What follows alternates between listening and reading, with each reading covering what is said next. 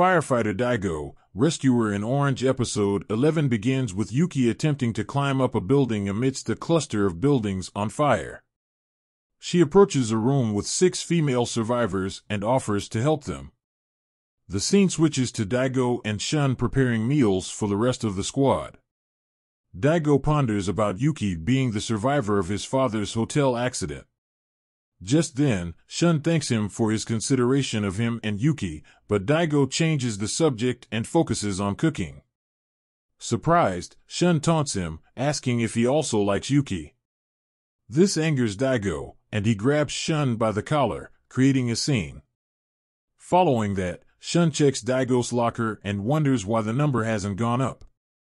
He figures Daigo has been struggling with something. Shun recalls the interaction with Daigo that happened when Shun was in the hospital. The scene switches to a road tearing open. The rescue team is alerted, and they quickly make their way to the spot. On the way, Daigo apologizes to Shun for his behavior earlier that day. Shun also apologizes for crossing the boundary, but they are stopped by Mr. Yamagami. As they reach the site of the calamity, the two rappel down into the pit and begin to search for survivors. Initially, it was only meant to be an inspection, but they spot a hand sticking out of the ground and rush to help the two people. They alert the rest of the team, and Shun begins digging out while Daigo looks for a metal pipe to shove down and let them breathe.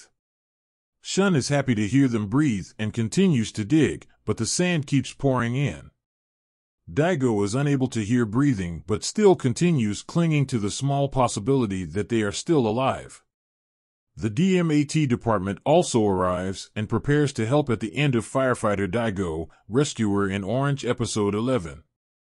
The Episode Review Firefighter Daigo, Rescuer in Orange Episode 11 marks the beginning of another rescue mission, and this time, the situation looks much more dire than any of the rescue missions we've seen until now. It has us questioning if the survivors are even alive, buried underground. Our heroes, Shun and Daigo, head into the pit. At first, Daigo shows great observation skills to spot the hand in all the darkness. He also uses quick thinking by breaking off a metal pipe to enable the survivors to breathe.